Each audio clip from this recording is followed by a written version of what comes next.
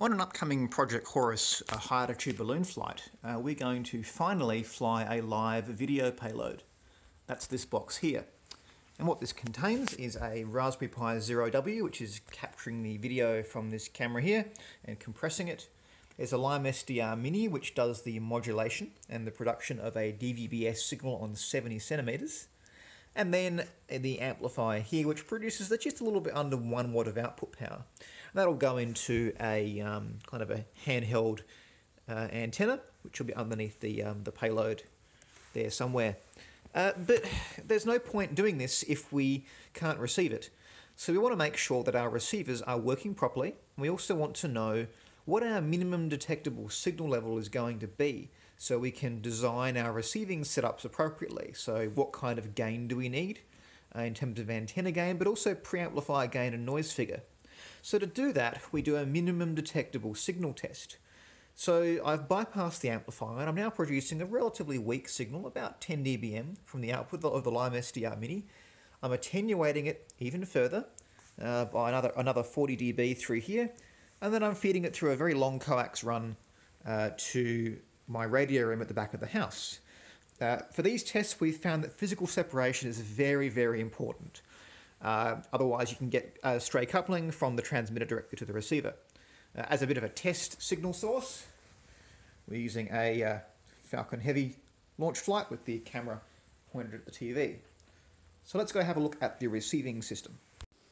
And here we are at the other end of the coaxial cable. So I've measured the power received this particular end of the cable using a spectrum analyzer uh, using a 1 megahertz resolution bandwidth, which is approximately the same bandwidth as the transmitted signal.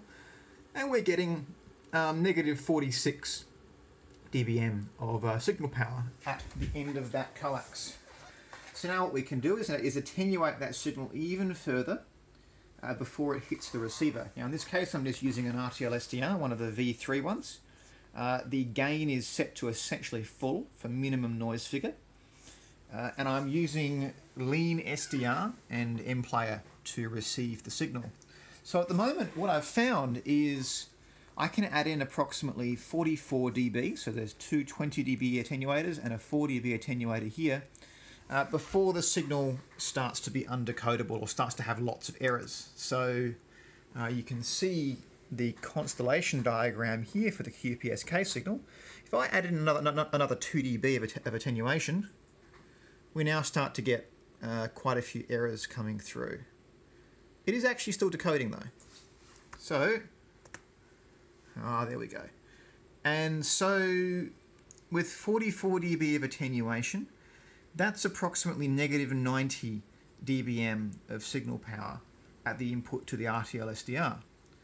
So with some additional preamplification, we can probably drop that MDS a little bit further um, to improve the system noise figure. But it gives us a good starting point to figure out uh, what kind of antennas we need uh, and how what our receive setup must look like to be able to receive signals from this payload. So there we go, some practical testing of receiver performance and system performance for a high altitude balloon flight.